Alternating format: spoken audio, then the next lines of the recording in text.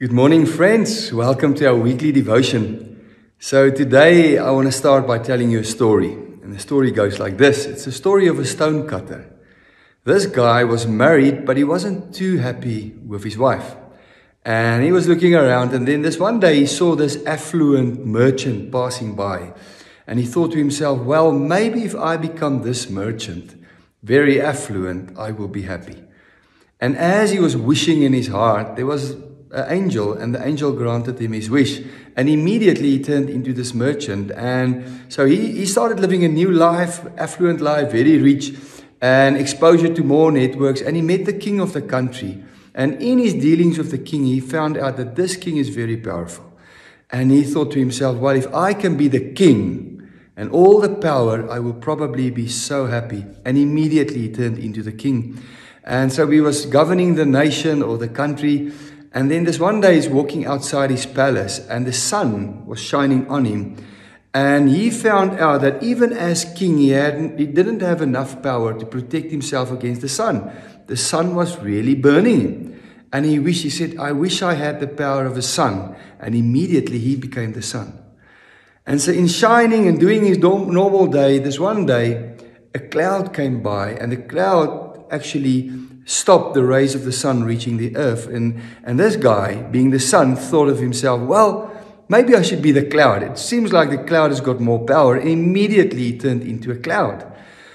And days after that, the wind came up and blew this cloud away. And he thought to himself, no, man, I should be the wind. If a wind can move a cloud, I should be a wind. And then a few days later, the wind blew and it was just stopped by this big thing, and the big thing was a mountain.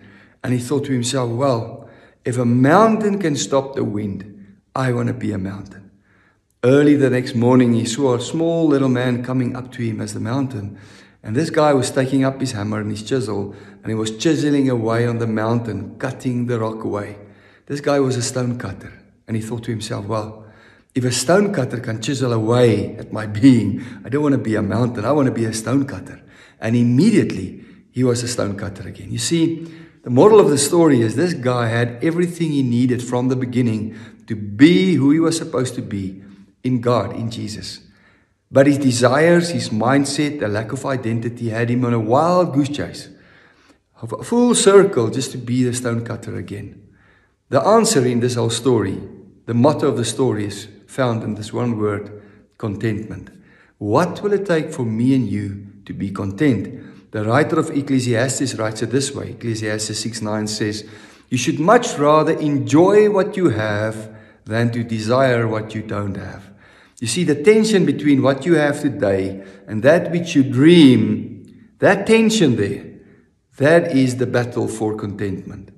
The question for us is how can we live in a way that we are happy in today, that we are content in today, while we believe Jesus to move us forward and become everything we can be in Him for His kingdom's purposes in this life?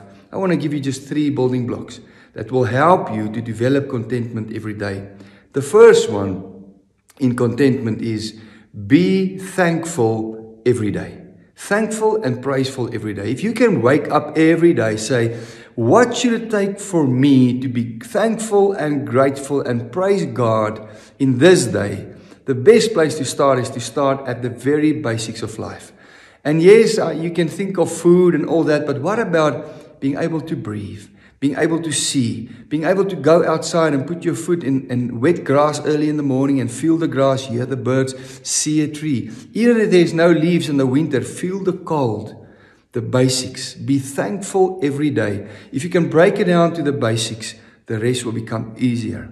The second one, be intentional every day. It is good for us to be intentional in this, to wake up and say, How can I live in such a way that I will be intentfully content today in my life. In meaning, content, intentionality means to be focused on this. And then one last thing would be to challenge your perspective every day.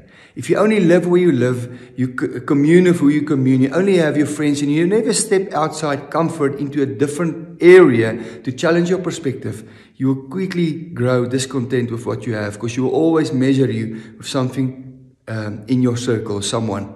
But if you step out and you follow your feet into ministry, someone poor feeding someone, or just in a different culture or a different faith, or just sitting with someone that lost someone to death, or speak to someone who went through a divorce, quickly you'll find that you are privileged enough to be thankful every day. So, three things. We want to be content. We have to be content. It's a basic building block of the journey to the promise. How do we do this? Stay thankful. Be very intentional and challenge your perspective every day. Bless you. Till next time.